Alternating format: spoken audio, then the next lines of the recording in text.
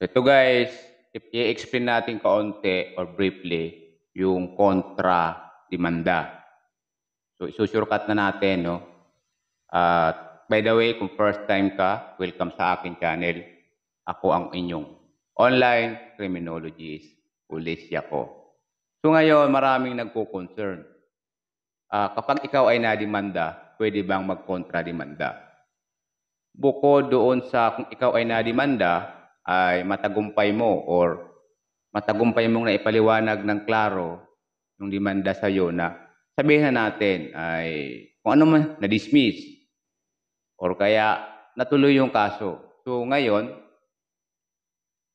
lalong-lalo na kung tuloy yung kaso o kaya pending. So ngayon, nag normaling pag-iisip ay magagante or kontra demanda.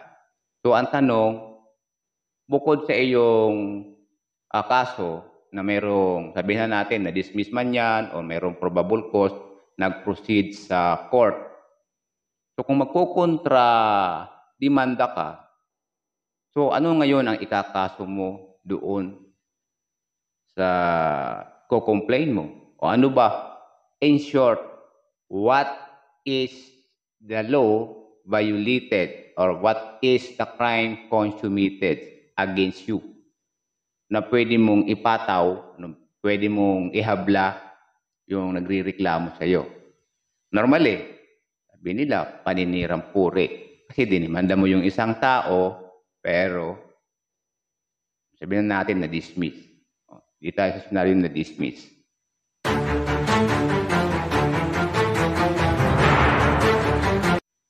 So, do you know that define what is paninirang puri?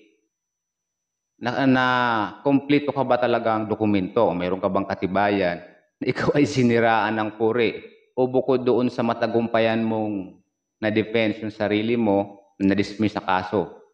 Kasi kung wala, alamin niyo muna yung kapatid, alamin muna natin yung definition ng libel.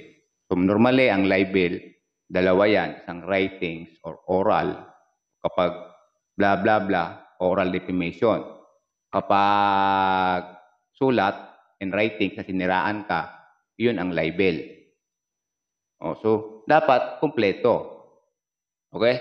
Kasi kung nagkamali, dapat may katibayan ka. Hindi lang yung buka-buka. Okay? So, it's clear na pag-isipan, bago ka mag-kontra-demanda, pag-isipan mo munang maigi kung mayroon ba talaga siyang batas na na-violate. Lalong-lalo na yung sinasabi nating paninirang puri or libel. So, mayroon, mayroon ding libel na may involving computer. So, mas, ma, mas higher yung penalty noon. I think above 6 years or pris, above prison correctional. So kapag napatunayan ka sa libel na may social media, mas mataas yung penalty. Okay? So, thank you for watching guys. See you again in my next video. By the way, ang inyong lingkod, ako po ang inyong online criminologist. Kung gusto mo ng legal assistant, uh, just click the joint membership and PM me for one-on-one uh, usap. Kasi po ang kaso ay hindi po basta chat lang. So may, marami po tayong titingnan na senaryo at marami tayong aalamin kung anong mayroon ka, mayroon siya. Okay? So, thank you for watching. See you again in my next video.